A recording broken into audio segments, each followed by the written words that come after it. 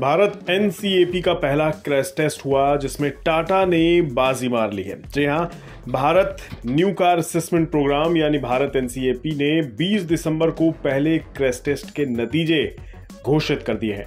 इसमें टाटा हैरियर और सफारी दोनों को फाइव स्टार रेटिंग मिली है। भारतीय एजेंसी 15 दिसंबर से दोनों कारों का क्रैश टेस्ट कर रही थी। हैरियर और सफारी दोनों ने एडल्ट ऑक्यूपेंट प्रोटेक्शन, यानी एओपी के लिए 32 में से तीस दशमलव शून्य आठ पॉइंट हासिल किए हैं। वहीं चाइल्ड ऑक्यूपेंट प्रोटेक्शन यानी सीओपी के लिए उनचास में से चवालीस दशमलव पाँच चार पॉइंट हासिल किए हैं। जबकि एसयूवी ने side movable deformable barrier test में पूरी तरह से स्कोर किया। वहीं front offset deformable barrier test में चेस्ट एरिया की सेफ्टी के लिए कम स्कोर हासिल किया। कमाल की बात यह है कि अब भारतीय परिस्थितियों के अनुसार तय नॉर्म्स पर क्रैश टेस्ट किए जाएँगे और उन्हें सेफ्टी रेटिंग दी जाएगी। यानी अब क्रैश टेस्ट भारतीय होंगे। इस टेस्ट में कारों को शून्य से फाइव स्टार तक की रेटिंग दी जाएगी। शून्य स्टार का मतलब अनसेफ होगा और फाइव स्टार का मतलब गाड़ी पूरी तरह से सेफ़ मानी जाएगी। अब तक ऑटोमेकर्स कंपनियों ने कारों के करीब तीन दर्जन से ज़्यादा मॉडल्स को टेस्ट के लिए रजिस्टर करा लिया है। क्रैश टेस्ट के पहले बैच में Tata Motors, Maruti Suzuki, Hyundai और महिंद्रा एंड महिंद्रा जैसी कंपनियों ने भाग लिया है। इसमें टाटा मोटर्स अपने मॉडल्स को रजिस्टर कराने वाली पहली कंपनी है। दूसरी ओर रेनो, स्कोडा और फॉक्स जैसी यूरोपियन कंपनियों ने अभी तक अपनी कारों का रजिस्ट्रेशन कराने का निर्णय नहीं लिया है। अब आपको बताते हैं क्रैश टेस्ट किया कैसे जाएगा। टेस्ट के लिए इंसान जैसे चार से पाँच डमी को कार में बैठा दिया जाएगा।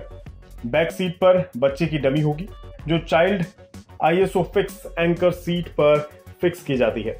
गाड़ी को फिक्स्ड स्पीड पर ऑफसेट डिफॉर्मेबल बैरियर, यानी किसी हार्ड ऑब्जेक्ट से टकराकर देखा जाएगा कि गाड़ी और डमी को कितना नुकसान पहुँचा है। ये तीन तरीकों से किया जाता है। जैसे फ्रंटल इंपैक्ट टेस्ट में कार को चौसठ किलोमीटर प्रति घंटे की रफ्तार से बैरियर से टकराया जाता है।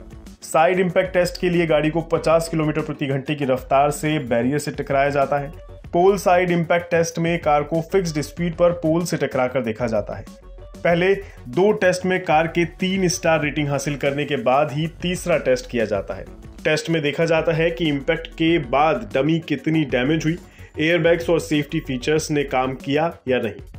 इन सभी के आधार पर रेटिंग दी जाती है। अब आप सोच रहे होंगे, इससे हमें क्या फ़ायदा? तो आपको बता दें, इससे ग्राहकों को बेहतर सेफ्टी वाली कार चुनने का ऑप्शन मिलेगा। साथ ही देश में सुरक्षित कार बनाने के लिए कंपनियों में कंपटीशन बढ़ेगा। और तो और, इन कार कंपनियों को टेस्टिंग के लिए अपनी कार विदेश में नहीं भेजनी पड़ेगी। ये सब जानकारी आपको भारत एनसीएपी की वेबसाइट पर दिखेगी, लेकिन ये तभी दिखेगी जब केंद्र के द्वारा बनाई गई मॉनिटरिंग कमेटी भारत एनसीएपी की टेस्टिंग का एनालिसिस कर उसे मंजूरी देगी। इसके बाद ही भारत एनसीएपी अपनी वेबसाइट पर स्टार रेटिंग और टेस्ट रिजल्ट्स शो करेगी।